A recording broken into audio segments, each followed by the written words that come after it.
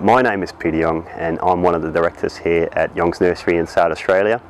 We are a 1.4 hectares undercover nursery growing advanced potted color, orchids and bulbs in a pot which we sell to uh, the local market in South Australia and some of the more specialised products interstate.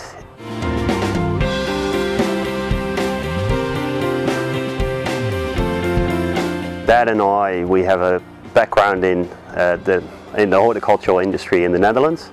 Both of us did our study there and we were looking for a way to find a, a future in the nursery industry for myself, possibly in, in Dad's nursery. Um, that was going to get tough because competition in Europe is quite fierce.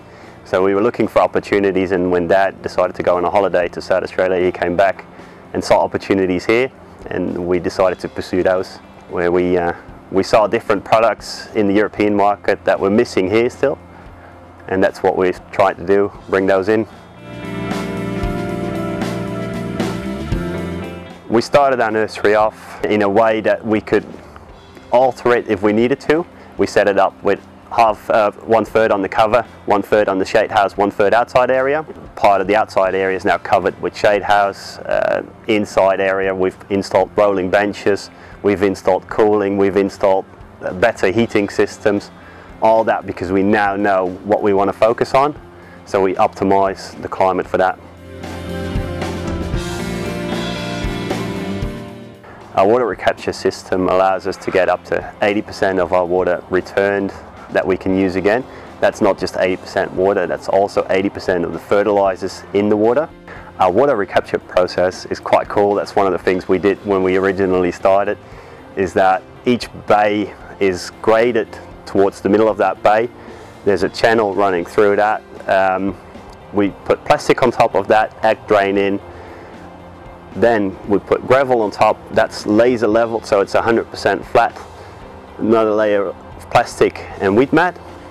So we have got a nice smooth surface on top. All the water runs through, it's collected into the center, goes in the ag drain. The ag drain brings it to the end of a bay where it's collected into a big main pipe which runs into the sump. Sump pumps it into a big drain tank and from there we can use all the water again as we need it. Our bore can be restricted if we have got a couple of years of dry years.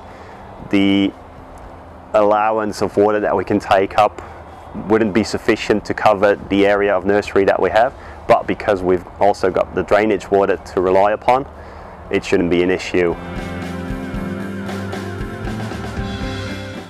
We do a lot of work on our recycling program, so all our cardboard is recycled, all our plastics are split up here and recycled. Uh, this by itself as well, not just better for the environment but better for your wallet as well because it does save a lot of money if you're able to recycle properly.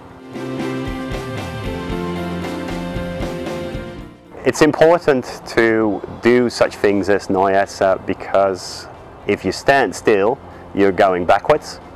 It makes sure that we stay on top of everything we need to stay on top of. So we get the independent auditor, do a round through the nursery here, just point out a couple of things that we may overlook because we're in it every day, you don't see everything anymore.